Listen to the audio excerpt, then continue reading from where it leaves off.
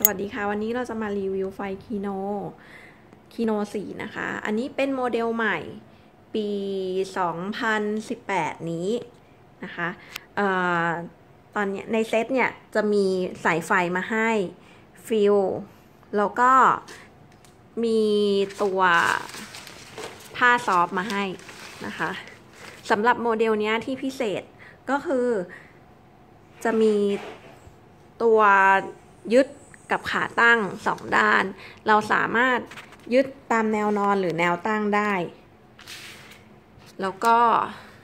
ด้านบนจะมีที่จับทำให้พกพาไปไหนสะดวกคันนี้เรามาดูข้างในกันนะคะ ตรงนี้อาจจะดูขุ่นๆหน่อยเพราะว่ามันจะยังมีตัว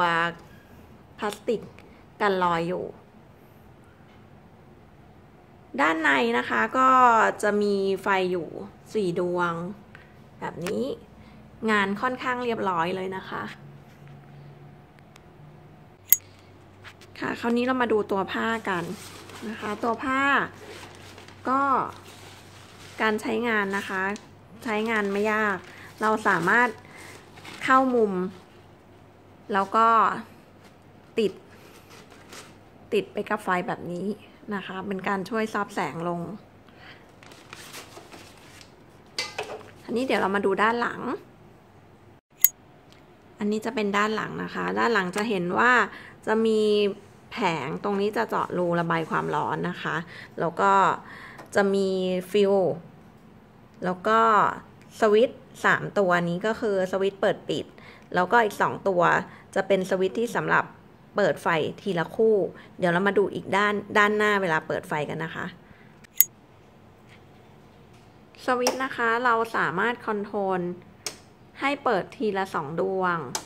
หรือจะเปิดทีสี่ดวง อย่างนี้ก็ได้นะคะ สรุปนะคะว่าโมเดลใหม่เนี่ย จุดเด่นก็คือมันจะมีตัวยึดขาตั้งสองตัวนี้ค่ะ ที่ทำให้เรา สามารถตั้งได้ทั้งแนวตั้งแนวนอนนะคะ ก็ตอนนี้ในท้องตลาดไฟของฮิวเฮรุ่นนี้นะคะ ก็จะเป็นตัวที่น่าใช้ที่สุดแล้วค่ะ